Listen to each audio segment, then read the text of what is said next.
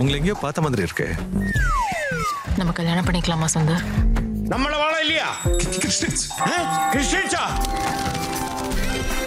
இவ்வளவு தூரம் வந்ததுக்கு அப்புறம் இப்ப என்ன செய்யறது?